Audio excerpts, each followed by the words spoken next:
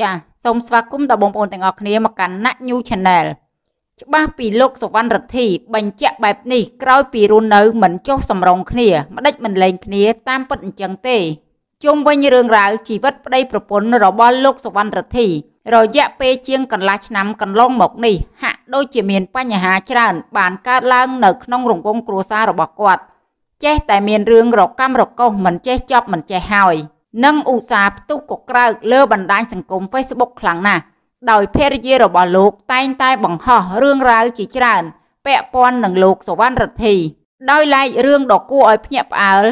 និងក៏ក្រើកបំផុតនោះគឺរឿងឃើញស្បែកជើងរបស់មនុស្សស្រីនៅក្នុងឡាន ហើយភរិយាសវណ្ណរដ្ឋីទៀមទាបើកទ្វារឡានមើលតែសវណ្ណរដ្ឋីថាឡានខូចសោមិនអាចបើកបានទេ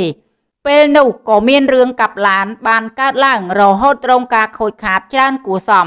អស់ពីរឿងខាងលើនេះភរិយាលោកសវណ្ណរដ្ឋីកាលពីយប់ថ្ងៃទី28ខែកក្កដាឆ្នាំ2021កន្លងទៅនេះក៏បានទម្លាយវីដេអូពីកាមេរ៉ាសវត្ថិភាព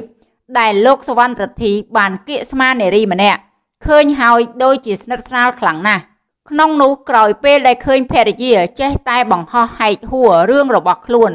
ជាបន្តបន្ទាប់ លោកសវណ្ណរដ្ឋីក៏បានបង្ហោះសារមួយសុំអង្វរដល់ប្រពន្ធកុំផុសរឿងដដែលដដែលច្រើនពេកនាំឲ្យពុកម៉ែបងប្អូនគាត់ឃើញគាត់ធុញល្មមចប់ហើយ នៅមិនទាន់អស់នោះទេ ក្រោយពេលដែលបង្ហោះសារសុំអង្វរកុំផុសរឿងដដែលដដែលរួចមក ស្រាប់តែមានអ្នកខមមិនបែបឆ្ងល់ថាប្អូនមិនព្រមលែងលះគាត់តើជាការពិតទេ